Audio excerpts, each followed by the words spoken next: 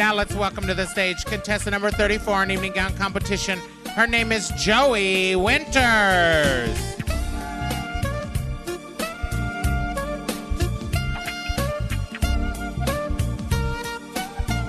Joey is wearing a gown designed by Coco Vega.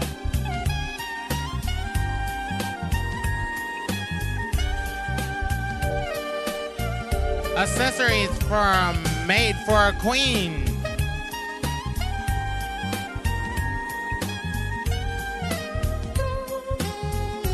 Her hairstylist this evening is Troy of Asheville.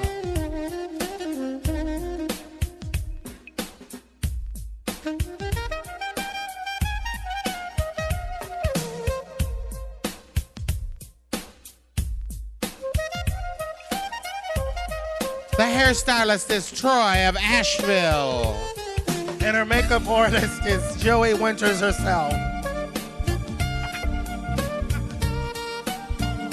Tonight she's sponsored by Ted Legman, Andy Yearman, Erica Ray O'Hara, Axis Nightclub, Mask Nightclub, Ashley West, Amanda Kane, Central Ohio Pageantry, Miss Gay Ohio America, Alumni Community.